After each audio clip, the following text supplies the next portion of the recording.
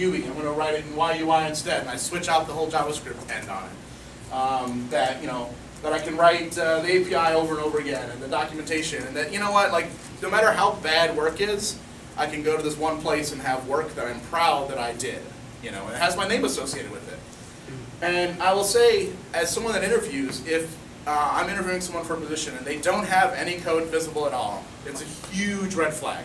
We have a guy right now that's highly recommended by three different Canonical employees that I'm interviewing. And my first interview, I was like, no, I, you know, I can't do it um, because he had no code to look at at all. And it's like, you know, I, I'm taking you on blind faith. And it's like, even if, so when I interviewed, I had, I had Bookie out there, which wasn't the best thing out there. But they could look and go, yeah, this guy's trying to learn how to write tests. And yeah, look, this guy's, you know, got decent documented, you know, comments and stuff in his code. And I almost wonder if I got the job more on what I had than what I, you know, I, I spoke well enough to not get kicked out the door. But I almost wonder how much actually having real life code to go look at um, mattered as far as getting my jobs. Um, and, and, you know, it doesn't hurt, that's for darn sure. So, all this said, this is kind of very doom and gloom, right? Like, you know, hello, I'm an island, I've been writing code for three years that no one cares about, except once in a while. Um, then this year kind of happened. And this year has been really, really crazy.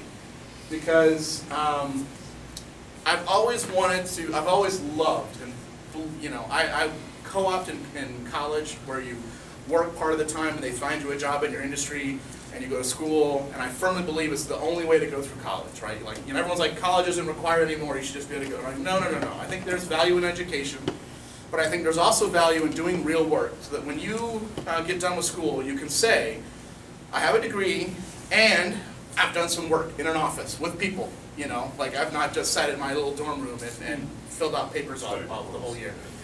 You know, and Google Summer of Code, I think, is awesome, where they pay a student five grand to, to sit at home in the summer and work on open source code.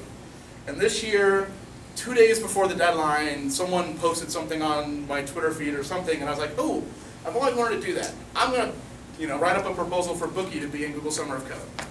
What's the worst that can happen, right? They say no. And so they didn't say no.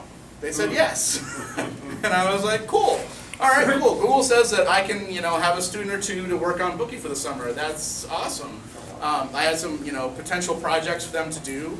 And so as soon as they announced, hey, here's a list of 190 projects that you can get to know and talk to about working with them for the summer students, here's a list of 190. And within like an hour, the Bookie IRC channel started to go from like our normal 8 to 10 people to like 12 to 15 to 20 to 25 to 33, up close to 40 every one of them being students that jumped in and were like, hey, I see Bookie as a Google Summer Code project. I'm interested. What, how do I get started? And I was like, crap, um, hello? I just found out an hour ago that I was selected. I don't know how you get started. Um, so we quickly threw together a Google Doc of like, you know, here's a list of projects, and here's, here's how to install Bookie, and here's what it does. And so our first thing was, was go to the doc, install it, try it out, see what it does, then come back with questions, and here's a list of bite-sized bugs that I had marked in the bug tracker, because, you know, I had this dream that one day someone would be interested in wanting to work on bookies, so I left these little bite-sized small bugs for others to fix, because that way they could get into it, right? And suddenly it happened. I had all these students, 30s of them, like showing up, wanting to fix little bugs, and I'm like, well, here's the bite-sized bugs. And this was amazing because out of all these people that came and installed Bookie, I think two couldn't get it running. One was trying to do it on Windows, which I said, don't even know, man. um, a lot were on Mac, which they were like, well, I'll throw it in VirtualBox and put an Ubuntu image and it just worked, because uh, that's how I run it. And then one was a CentOS guy, and his patch was to actually make the Makefile work in CentOS. So through this process of get to know your project, all the bite-sized bugs got closed out. Uh, Bookie runs, there's instructions for it for OS 10, for Arch, uh, Ubuntu, and CentOS now. It'll, you know, make install or whatever. A lot of things got fixed, and it was insane. I think I worked probably 30 hours a week on Bookie and 40 hours a week on work. And my wife was like, what are you doing? And I'm like, I don't know. I just signed up.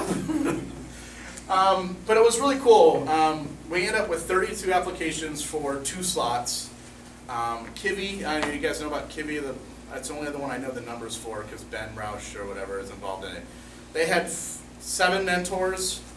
They had six applicants. They only accepted three.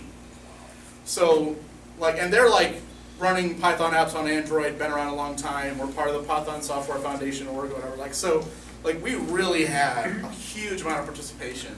And this has just been, I mean, it's awesome, right? It's like the open source developer dream that you've got. Google's going to pay students five grand this summer to implement two new features on Bookie. One guy's going to add private bookmark support, which I punted on because I said, well, this is open source and I'm not going to promise anything's private. Like that's that's that's a problem I don't need. Um, but I think we're to a point now with our tests and our integration stuff, and a student's going to work really hard on it. So, and external bookmark support, so like wire up Bookie to like Twitter or Identica or whatnot, and pick out URLs that are shared with you or you share, and turn them into bookmarks for you and such. So, um, it'll be really cool, interesting. I kind of get to mentor a couple students. Hopefully, um, there are a lot of people that, that didn't get selected that are hanging around, albeit much more low key, um, submitting you know patches and stuff and getting involved, and it really has just been awesome. So this is the um, credits file for Bookie. Um, so this is the uh, the almost four years down here to I think Michael Hanna. So there were 18 over about three years and change, and then from 18 to 30, so there were 12 in one month. so you know, I mean, to me that was just every time I got to add one of these little names here, I was just like, woohoo! You know. Um, so then, this guy jumps in IRC, and I recognize the name, IRC name Jelmer, um, because he used to work at Canonical.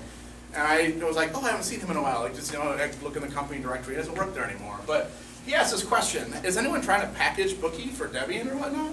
And I'm like, no, like, why would you do that? That would be really, really hard. There's lots and lots of dependencies, and it seems like it would be really crazy. Um, and he's like, okay, so he filed an intent to package Bookie.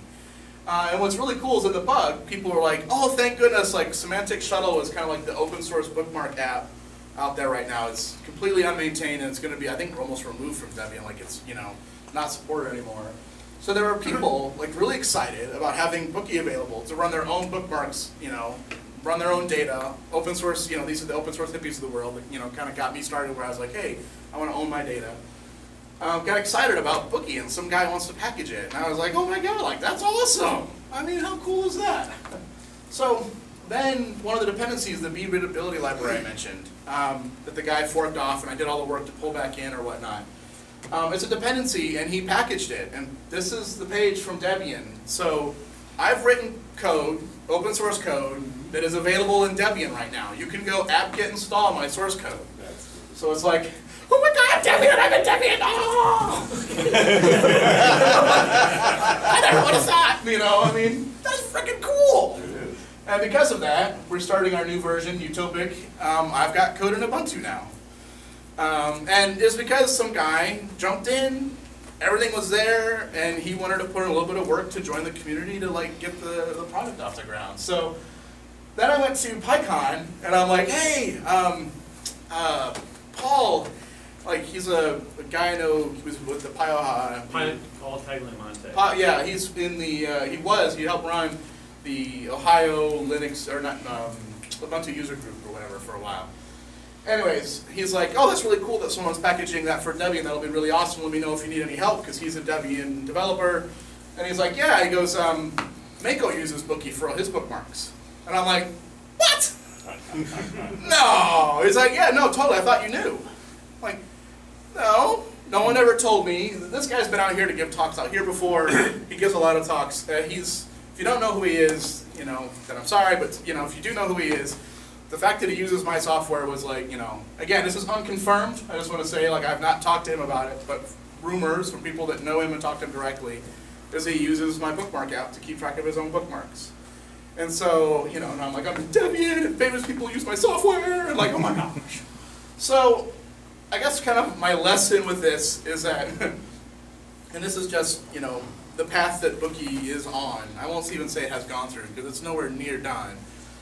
But it's kind of like this idea that, you know what, this, this stuff takes time, you know, and it takes, I mean, you know, I've almost quit several times. Um, you know, and I've taken time away where like I've done woodworking for three months and not touched Bookie other than to make sure that the thing still ran. Um, And that's okay and it's healthy, right? Like you can't, you- know, you have to be able to do that.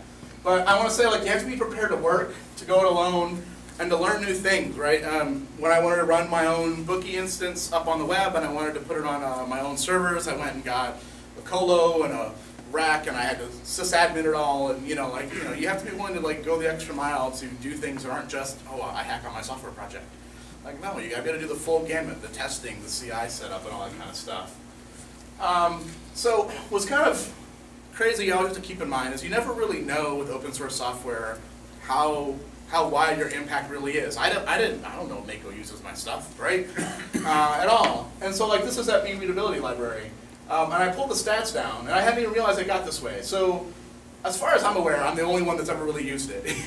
but it had 355 downloads last week and about three grand in the last month. and this was kind of cool. When I searched for readability, this other project came up.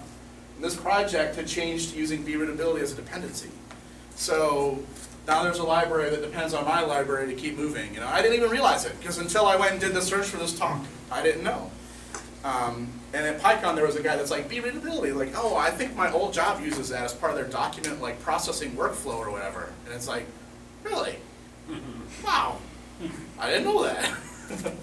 so, um, the other thing I want to say is I've thought many, many times about rewriting it. And you guys know Joel Spolsky? He has this thing, the giant lesson from Mozilla is like never rewrite. And I've taken that to heart, and I think that's been a really good thing because Never rewriting means that A, you get to practice software in the real world where you get handed crap software and your job's to make it uncrap, or at least try not to add too much more crap to it, right? Um, and it keeps you moving forward, right? I mean, I spent my last three years working on just the website of this thing and not doing the Firefox extension and not doing the Chrome extension and I wouldn't, the project wouldn't be where it's at today. It wouldn't be packaged in Debian or uh, trying to get it packaged into Debian if that was the case, right? It would just be this little small thing that I hacked on. But it'd be really beautiful because I rewrote it like four times and it'd probably be in, you know, Node.js or something now, or, you know, some other language, or you've written in Go or something, you know. So, any questions? Yeah. Can you demo it? Yeah, yeah, yeah, by all means. Curious what Um, Bookie does. Yeah, so, Does it run on Windows? Patrick, welcome. who cares? I mean, Mine does.